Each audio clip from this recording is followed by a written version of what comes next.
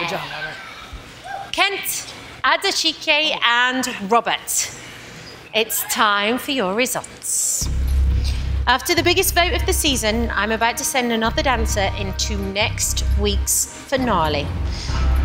Once again, they did make the top two, but I'm not going to reveal whether they were first or second. The next finalist is.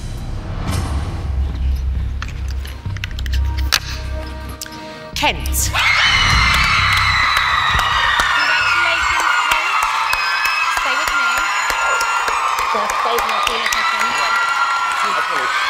means that either Robert or Adechike are going to be leaving us tonight.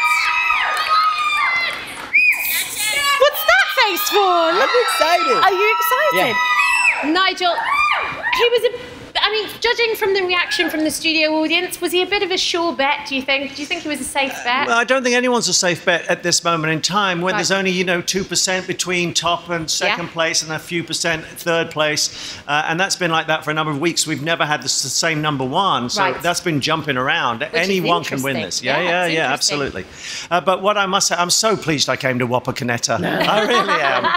Uh, and I'll tell you what, I, I'm pleased with you, Kent. I mean, you had a, a discussion with Mia, and I've said it to you as well about your face. And Mia said, you don't always have to pull it around. And you said, well, that's me. Uh, and, and both of you were right. That is you and your personality. But I think what you've learned is you need to control that as well because you are not the artist at the end of the day. The choreographer is. You are the artist's brush, if you like. And the artist has got the idea of the painting at the end of it. And they use you. You are the instrument with which they paint with. And last night, looking at how Travis choreographed you and how he put you in that emotional routine, there was no cheesiness, there was nothing gawky about you. You were absolutely brilliant. And you've grown emotionally. And that's been wonderful to see on this show. Absolutely. This is just purely a face of delight right mm. now. Let's hear it for Kent, who's in the finale.